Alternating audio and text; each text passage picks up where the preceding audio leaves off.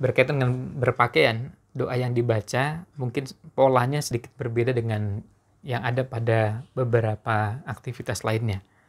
Pada aktivitas lain seperti makan misalnya dimulai dengan basmalah, diakhiri dengan hamdalah.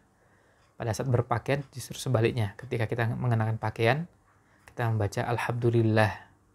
Alhamdulillahilladzi kasani hadza thawb wa razaqanihi min ghairi haulin minni wala quwwah. Sebagaimana hadis yang terdapat dalam uh, kitab Sunan selain Sunan Nasai, jadi Sunan Abi Dawud, Tirmidzi dan Ibnu Majah. Sebaliknya, ketika kita melepaskan pakaian, kita membaca bismillah sebagaimana yang terdapat dalam hadis di kitab Sunan. Nah, ini uh, yang sedikit berbeda polanya dengan beberapa bacaan-bacaan yang lain. Jadi melepaskannya justru membaca bismillah, mengenakannya justru mengena, membaca hamdalah. Allahu a'lam.